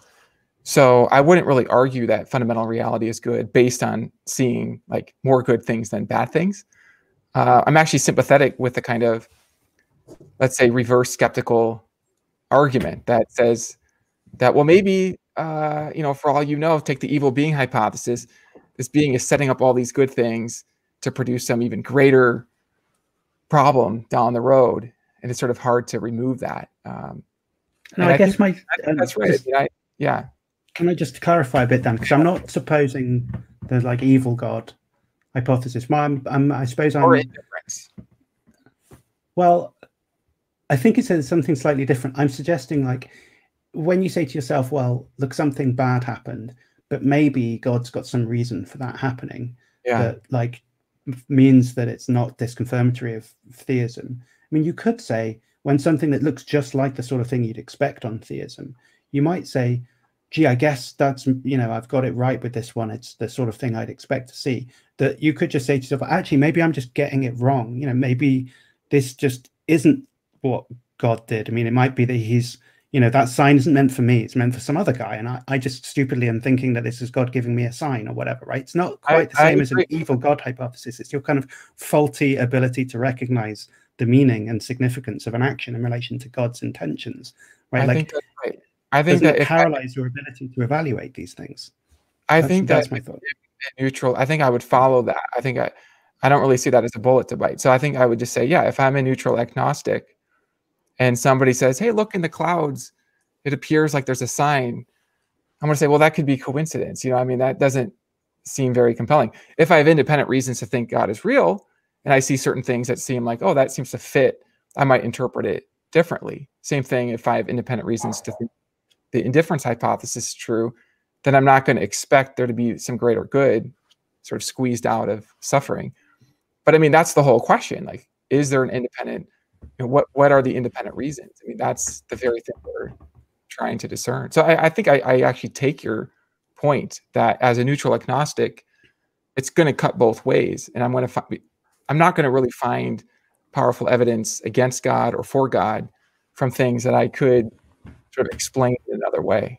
It seems well, I was thinking it's a problem for the open-minded theist, not so much for the agnostic. I mean, I take what you're saying. I think that's right for the agnostic, but if you're you know if you're the kind of theist who says look damn it i have these expectations and um they can be thwarted they're just not thwarted right? So good for me i like that then fair enough right? But if you're so open-minded that um you know like a kind of freudian dream analysis where like anything really could fit with the uh, the analysis doesn't really matter. I mean, I don't sorry if I'm not familiar with that, but you know, kind of Freudian thing was you you come see him and keep describing, oh, I'm having this dream, and then today I had this dream, and then I blah blah blah, and he can just keep stringing you along by going, oh yeah, well that fits the hypothesis as well because blah blah blah, and like you know nothing yeah. can be disconfirmatory of it, right?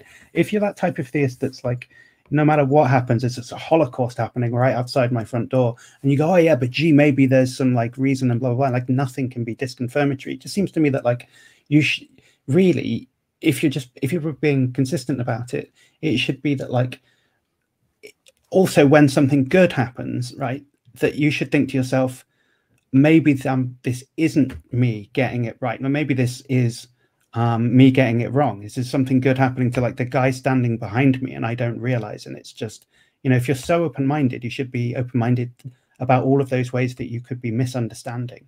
And it's not to say that like, you could still be a theist or whatever. It's like a problem for yeah. understanding how to connect what's going on around you with God's intentions. Like that sort of straightforward, stubborn theist at the beginning just thinks he always gets it. Like uh-huh. the, the, evidence either confirms or disconfirms, and he's either yeah. like you know back. Whereas this open-minded theist just like uh, somehow it's it's so woolly that the two things never even the gears never connect strongly enough for it to to do anything to their belief. Right? It should just always kind of pass. But I think I'm trying to come up with a, an idea off the top of my head, and I might not be doing it well. So. No, it actually, um, I'm I'm listening. I'm thinking, yeah, and I think that that's right, and I think there's a kind of balance then uh, with respect to sort of how open things are. Mm. And I think you you I've noticed something about you, Alex, is you find these symmetry points. this is the is sort of the Grim Reaper argument. You find okay, a recombination principle can be symmetrically applied to get this conclusion or this other conclusion, and I think that's a very helpful uh, device. So in this case, mm-hmm. the symmetry point is that if I'm sort of kind of speculating about these possible reasons that would be consistent with the perfect being hypothesis, then that's to explain evil, negative states, then same thing for positive states. So it might lead to maybe more skepticism than I want. And I I really appreciate that. I mean, I think that's that's really an important cautionary note. In fact, this is one of the reasons why I want to emphasize again I'm not suggesting that evil and suffering can't, in principle, be evidence for somebody to weigh in, in the scales against theism. Um, I think it can be.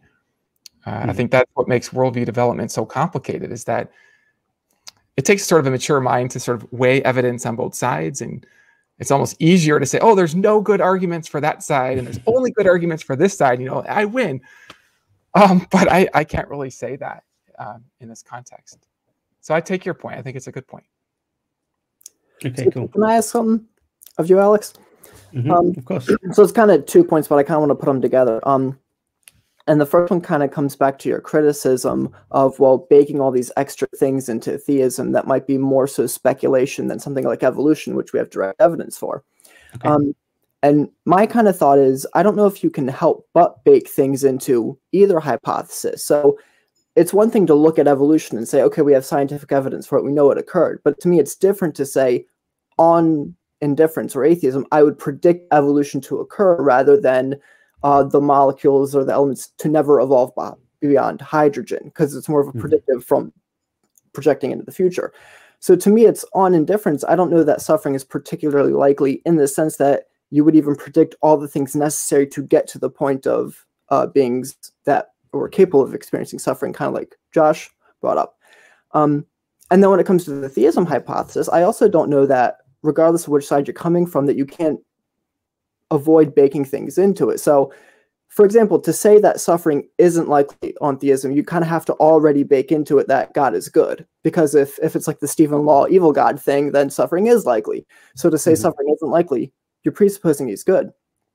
But then to presuppose he's good might also, I think, suggest or just entail that if he is going to create human beings and they're going to suffer, there's going to be a good reason for it. Um, unless you're kind of supposing the purpose is to kind of have us as pets in a terrarium and keep keep us comfortable, so to speak.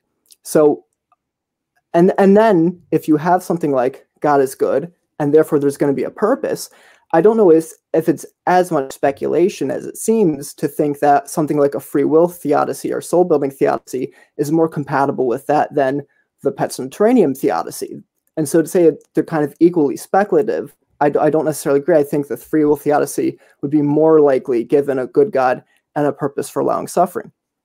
And then, kind of how that transfers into when you spoke of uh, per, us preventing a particular evil. If we saw, say, a robbery, our gut thing would we would try to prevent it, assuming we could, and you know we were capable of disarming the robber and let's say not fearing for our own safety in that uh, circumstance.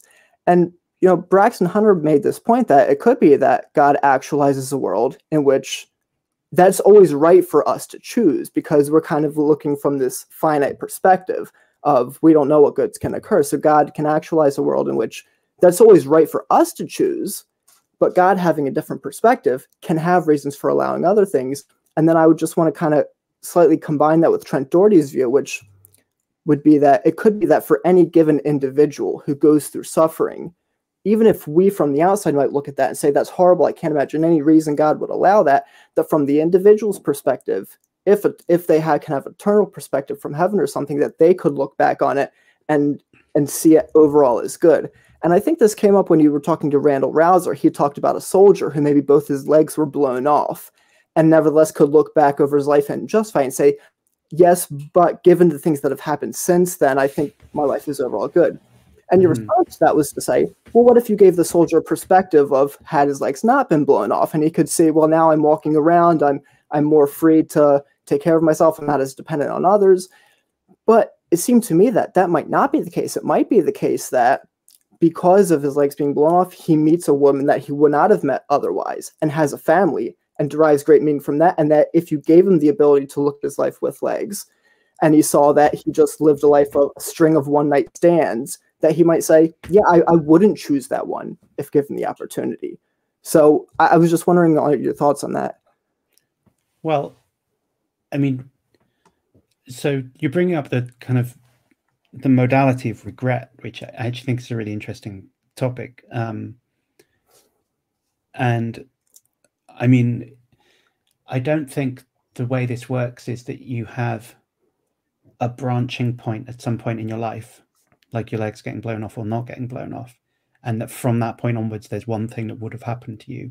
So if my legs hadn't got blown off, then I would have met someone. If they had, I wouldn't, or something. Um, the reality is, your life is full of branching points at, all the time, and it's actually difficult to uh, identify anything as a significant branching point because they can, you know, kind of butterfly effect sort of thing. It can just happen without you even realizing. So the legs getting blown off might not have even been a significant branching point for him. Um, so the Christmas Carol kind of like getting shown what their life could have been like isn't isn't showing them what their life would have been like because there is no such thing as what what their life would have been like. There's just a whole branching tree of possibilities from what would have happened what could have happened if if their legs had not been blown off. Um, so it's not like who is it i would have got married to if my legs hadn't got blown off? That doesn't make any sense. There's just like billions of different versions of you panning out from that thing in the past. So there's no one-to-one comparison um, in in in the modal space, right? There's um, at least that's my view anyway. There's just there's yeah. there's there's one pathway through that kind of thin red line of your actual course of life, and then everything else is just possibilities. Um, but you could, what I was suggesting was, well, what if someone showed them what their life could have been like? So they're just showing them basically an arbitrary alternative that they could have lived, um, and just saying, isn't it true that that would have been better than this? Um, and it just seems to me mad to think that it wouldn't have been. You're just saying, well, I could pick another world where actually they're more unhappy if their legs didn't get blown off. Well, of course you could, right? There's nothing special about which one we pick. I'm just saying mm. the ghost from Christmas possibility could have shown here, uh, could, could just pick a random or uh, especially choose one of those worlds where their life goes off really well.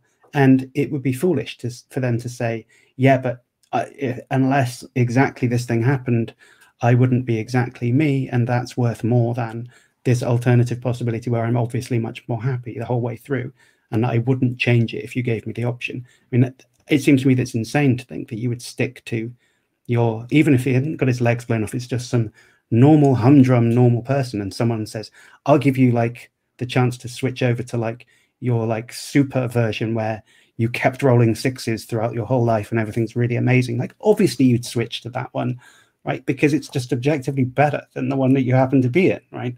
So you should and that's how regret should work. It's when people cloud it with thinking about the contingent path that's led up to exactly where they are now and tell themselves that that's actually the best way things could go. And if anything has changed from that i would actually be losing some special good that i that I need and that I'm super lucky to have, that's quite well explained by just thinking of a kind of psychological mechanism, of coping mechanism that's very realistic that we have built into us for all sorts of things.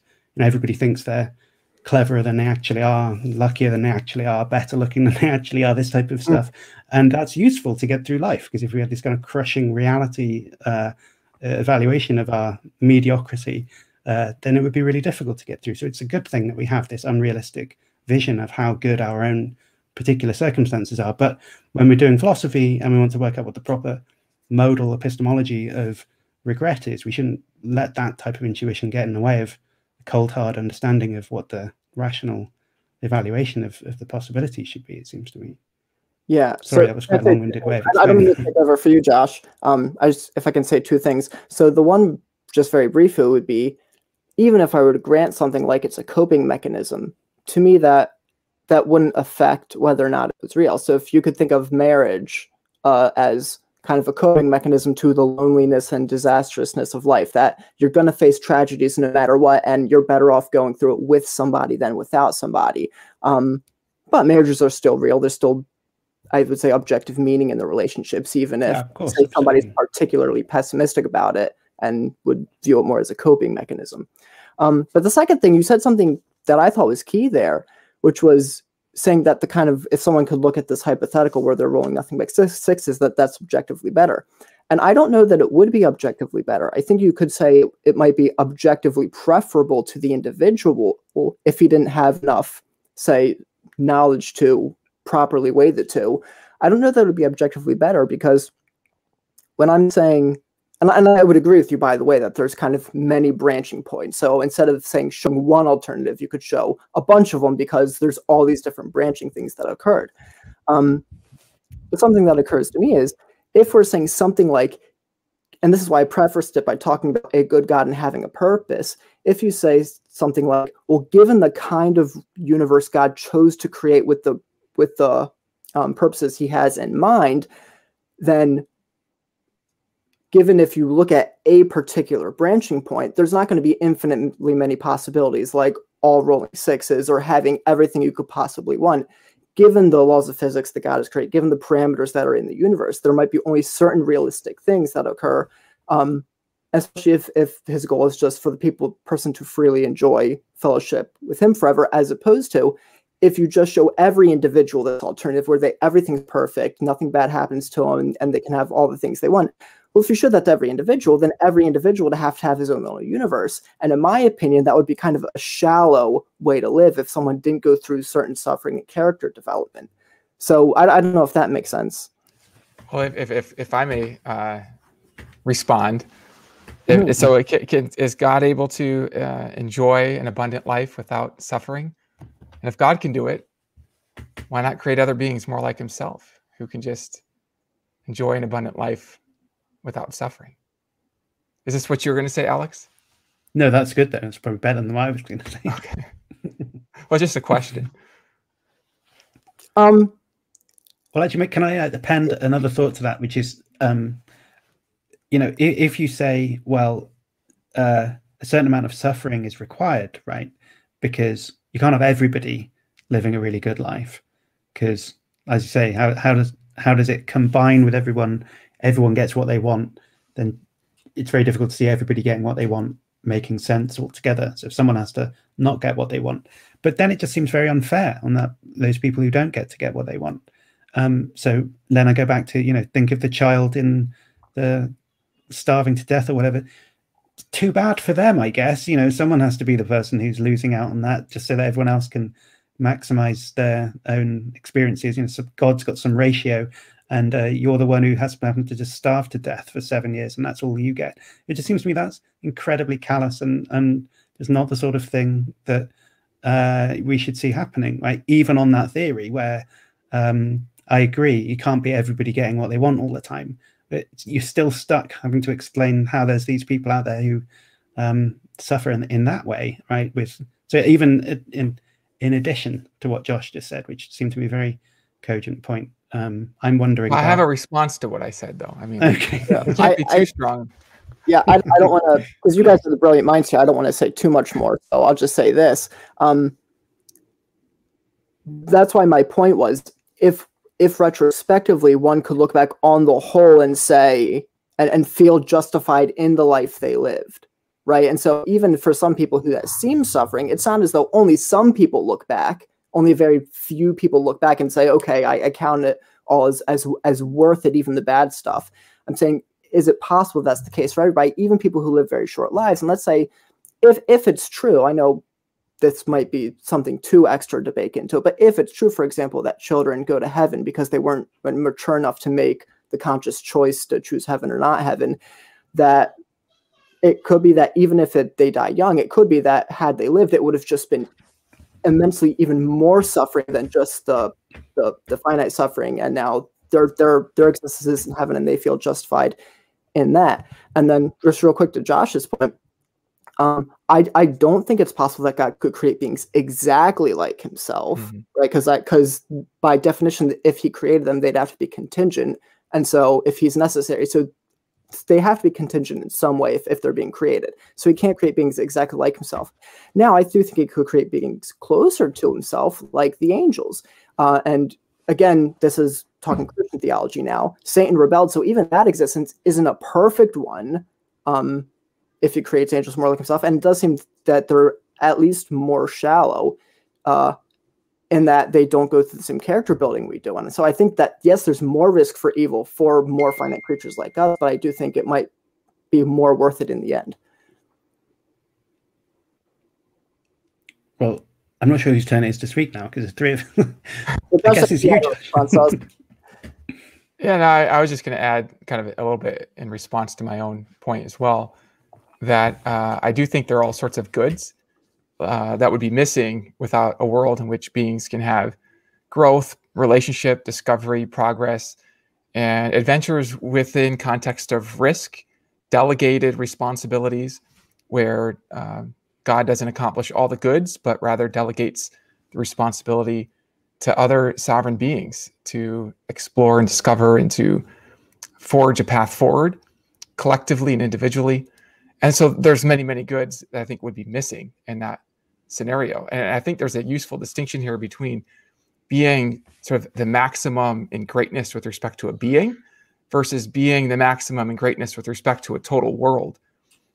And so you can have a being that is the maximal in greatness with respect to being that being, even if there are goods, uh, world good making, uh, good world making goods. How do I say this?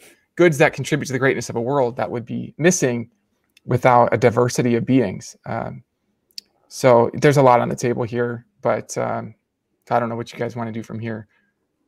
But those are some. Oh, well, thoughts. we've gone past the hour and a half mark that we agreed to.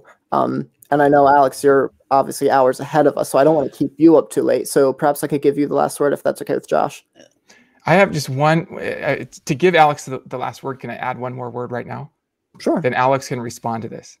Um, it's just on question: Is suffering evidence for God, uh, uh, for atheism or indifference or whatever?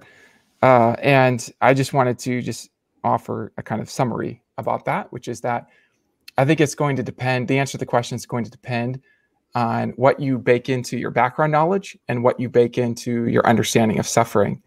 I think that if you leave the background knowledge open and you're just comparing theism with indifference, it seems clear to me that suffering is way, way more probable on some form of theism that would predict the the uh, resources for building an adventuresome world with suffering in it than on indifference, which doesn't predict that there would be any resources to produce beings um, that are complex, intelligent, let alone even capable of consciousness. Um, so I, I, definitely think suffering, sort of in itself, is powerful evidence for theism over indifference. But if we bake in background knowledge, things can change. And if we add more to suffering, like specific types of suffering, things can change. And so I do affirm that it's possible for somebody to consider some suffering and say, you know what, I wouldn't expect God to allow this if God were real. This doesn't seem so unlikely given my background knowledge together with the indifference hypothesis. And so this points towards indifference. Um, so that's my conclusion on that. Okay. So I think um, so there's this point made by Paul Draper, which is that like um, sometimes when you examine a piece of evidence and consider whether it's evidence in favor of a hypothesis or not, what helps is considering the wider context for that. So, for instance, it's quite plausible to think to yourself, well, um, what's more likely um, that consciousness would arise um, on theism or that consciousness would arise on indifference or naturalism or whatever? And it just seems like, well, quite clear that it's more likely on theism than on naturalism. So like lucky or something if it would arise on naturalism, whereas it's sort of is understandable. Well, I mean, you know, we are baking something into his intentions, of course. I mean, he doesn't want a world just filled with triangles and nothing else or something. Like, but you know, you can understand how if he's good, maybe he'd want there to be uh, conscious entities or whatever. Like, I, I get that. There's a story; it's not massively implausible, um, and there's no story at all on naturalism, and none that I know that makes it seem uh, predicted or whatever. So, you know, it seems like a clear win for theism there. But if you pay closer attention, it starts to feel less like a clear win because the type of like, why would on theism, um, it starts to seem a bit strange that like the type of consciousness we have is sort of precariously um, connected to like a squashy a gray bit of matter, and that like certain uh, you know changes to that can massively affect the the soul or whatever that's going on in the background. And like that's not the sort of thing you'd predict if it was God making conscious experiences. Because why would you do that? It's very difficult to see why, you know, that's not required for any like moral growth or like special experiences or anything. It's difficult to see why that's there. And actually, it being a weird outgrowth of some like let's say un at the moment unknown process that generates consciousness from matter. I mean, if that's how it worked, it would be weirdly connected to some squashy bit of grey matter. That's the sort of thing you would expect. And it's like uncomfortable contingent connection to something um, physical. Like, so it starts off looking like evidence for theism. But when you zone in on like, what's the actual detail of how does that work? Is it like we'd expect on the theistic model? It starts to not look like that. And it starts to look like just a weird accident sort of thing that might come up if things were just a bit random. So I wonder really with these, maybe it's the same point that you were making, which is that like we have to work, be careful of what we're packing into the background. Maybe it's a question of um, being careful to attend to the wider context of the evidence as well. Maybe that's saying the same thing. Um, but yeah, I mean, I guess I agree, I suppose, that these bits of evidence are difficult to evaluate. Um, I think my modest argument was really just uh, defining theism such that it's just really three claims, right? All good, all powerful, all knowing. Then, you know, it generates some kind of expectation, um, which is low because it doesn't have all these additional hypotheses in about purposes in particular and like the what if this and what if that. Um, if you start off with that bare hypothesis, it just seems like relatively uncontroversial and it's not a threat to anyone's like faith or anything. Just to say, yeah, it's that you wouldn't expect this type of uh, suffering, but because it doesn't prevent you from saying, but I believe a whole bunch of other stuff too. And because of that, I don't actually find this sort of suffering unexpected. Um, and so the interesting bit of the argument comes after what I was proposing. It seems to me fairly uncontroversial and straightforward, which is just, you know, simply the combination of those three claims generates an expectation value and in this way. And and I don't think actually that anyone's actually trying to push back on that. They're just saying but it's different. My actual view is different to the to what your argument was arguing against, which is completely fine because it's just a doorway into having a conversation about okay, well, what is your actual view? How do you what do you think about that? Rather than um, I'm going to bring ponage to the you know any Christian with my undefeatable argument or whatever. It's not what's going on. It was just a um, yeah, and a, a conversation opening, like um, Mike was saying, like it's a bit like a chess opening. I'm just interested to see where it goes rather than thinking it definitely wins no matter who the opponent is.